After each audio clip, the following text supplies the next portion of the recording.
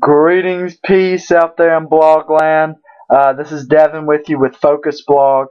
Um, updating, doing a post here for our class. Uh, we were asked to blog about our discussions on Islam in our pop culture class, and three um, different sources that really stood out to us. Well, the first source that I would like to use is The Danger of the Single Story by Chimamanda Adichie. I probably butchered that name, and I do apologize. But um, the dangers of the single story, how she talks about just profiling people just by looking at them. And I have to say that I have even incorporated, this had such a strong influence on me that I've incorporated in my work and what I do. I'm a low ropes facilitator.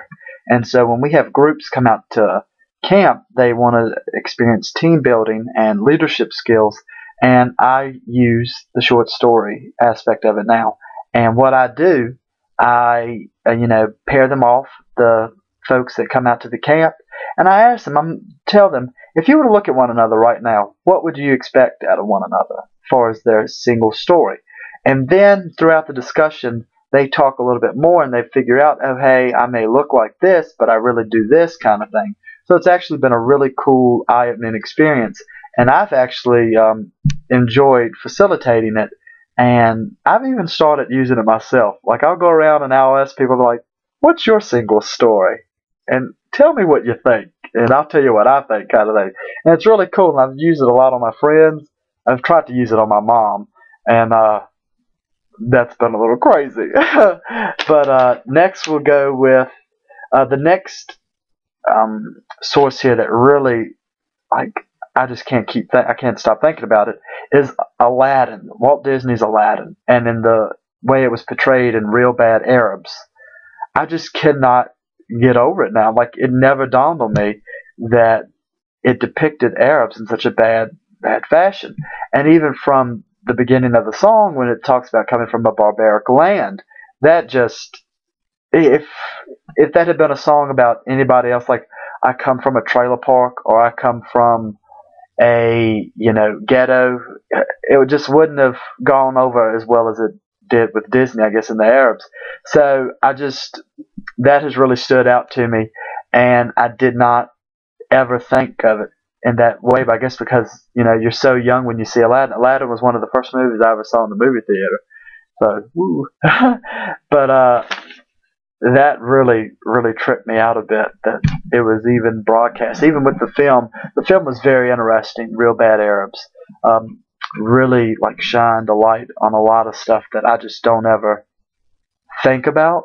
You know the way uh, Muslims are portrayed in media because in everything that we've been shown, they're very dangerous and they're terrorists and they're um, they're cold-hearted and they're murderers and so forth and from the Hollywood movies and it's simply not the case and that would lead me lead me into my next source which that when we went to the Islamic Center of the Shenandoah Valley I had never been to a mosque before in my entire life brought up in a Southern Baptist church um, I'm a back row Baptist. I like to sit on the back row. Don't give me the front row because, uh, you know, woo.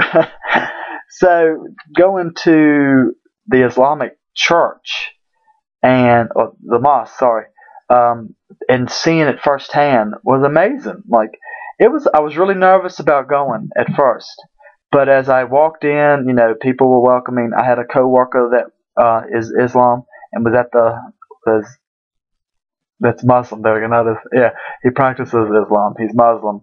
Uh, so I had a coworker there. It was really cool to see him and to see him in his element. Um, and even if I closed my eyes and I thought about it, so I closed my eyes and I thought, and like everything I was hearing, it was if I was back in my own church. Uh, you had the preacher or the whoever talking, and some people were kind of dozing in and out, like they were not really paying attention, like they probably should have. And then you had little children running around that someone should have just, you know, told him sit down right now, kind of thing. But uh, you know, it was like so many comparisons with my church experience and the mosque that it was the same message in a way that you need to uh, love one another, take care of one another. And Christianity preaches the same, um, the same values, but I know Christianity with Jesus Christ as the Lord and Savior, and uh, Islam. I'm not too sure. I'm guessing it's Muhammad. So that was the really only difference that I picked up on it. But nice people, really enjoyed the experience. Um, would recommend going to a mosque if you've never been, just to kind of get a feel for it. And finally,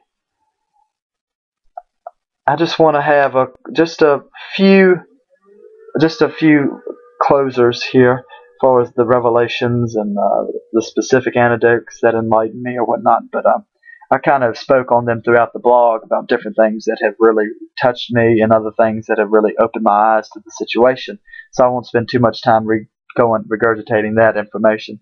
But um, all in all, uh, it's a great, great class and a great discussion with Islam and pop culture. It's very interesting.